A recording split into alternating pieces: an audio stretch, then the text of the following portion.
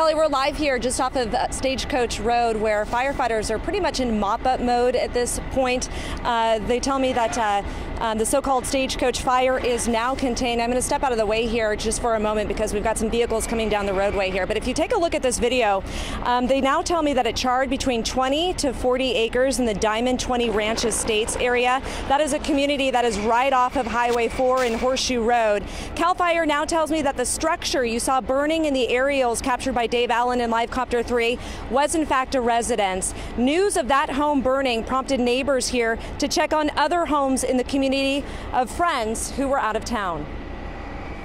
Uh, it had me scared because I live close, and this is pretty dry out here.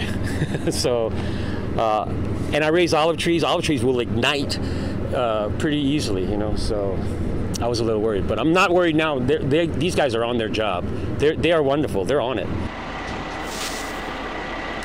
Now, the bulk of the activity is now focused on the Pacheco fire. That's where we saw a plane dropping fire retardant on the flames earlier this afternoon, as well as a helicopter doing bucket drops on a hillside right off of Lanford Pacheco Road. At last check, no homes were threatened in that fire, but as you can see, both fires have now scorched more than 250 acres. CAL FIRE tells me that they've got someone currently walking the area here at the Pacheco fire, and that number could easily climb up to 280 acres between the two fires. Reporting live here in Calaveras County, Linda Mumma, KCRA 3 News.